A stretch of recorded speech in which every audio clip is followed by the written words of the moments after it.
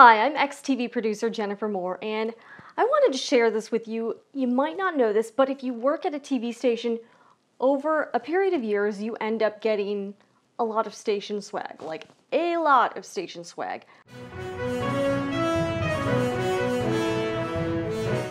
Pretty much every newsroom makes tons of promotional items t shirts, caps, bags, coffee mugs, anything you can think of. One station I worked at even had station branded chapsticks. So if it exists, you can bet some TV station is probably going to stick their logo on it and give it away as a promotional item. So this is just a very small percentage of my swag collection, but I was kind of reminiscing, you know, going down memory lane, and I thought it might be interesting to take a look at everything I've accumulated over the years just to kind of see what I had. So here we go. And by the way, if you're curious about what it's like working in a TV newsroom, feel free to subscribe to this channel because hopefully I'll be bringing you more and more content.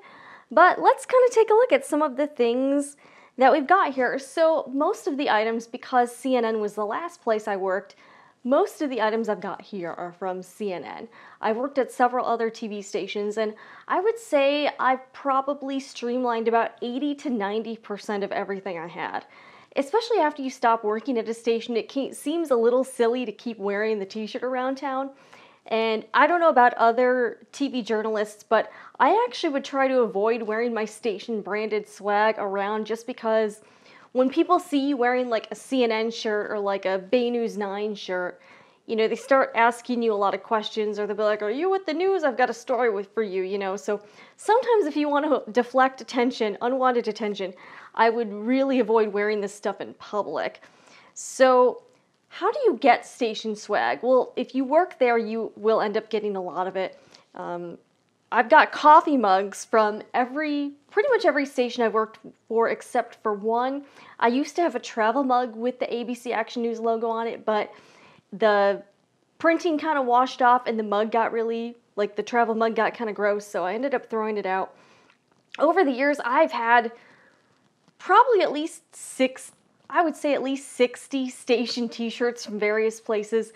Uh, the first station I was at, it was a Fox station. They didn't have K Fox. All right, I've got the coffee mug here.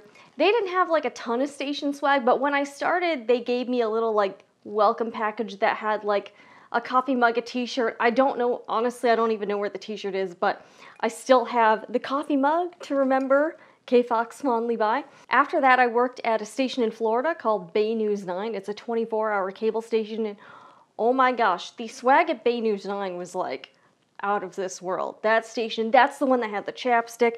I also have the uh, Weather on the Nines tote bag.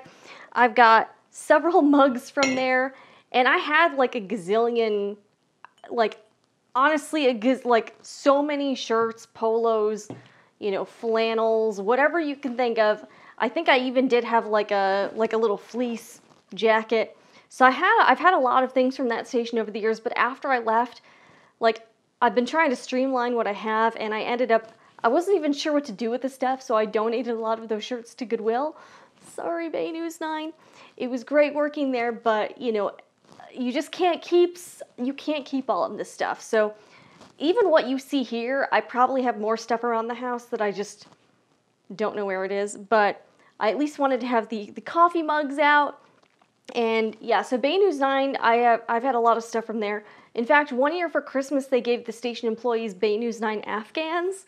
So that was kind of kind of a unique thing. So stations are always thinking about kind of cool and unique things to, you know, make promotional items for. They can get very creative. All right, so um, after that, I was at a station called ABC Action News for a time, and oh, whoops. Okay, there goes the there goes the CNN champagne flutes.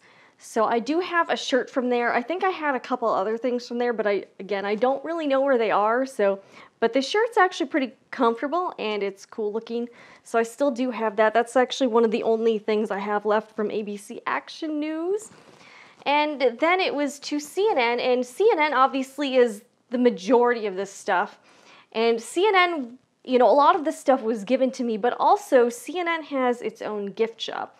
So if you are interested in your own CNN swag, you can purchase it online or at the Atlanta CNN Center. The website is cnnstoreonline.com, and some of this stuff was actually purchased at the store for some of it was intended as gifts and I just never gave them away. But once you start working there, you kind of start buying things to give to people because it's cool.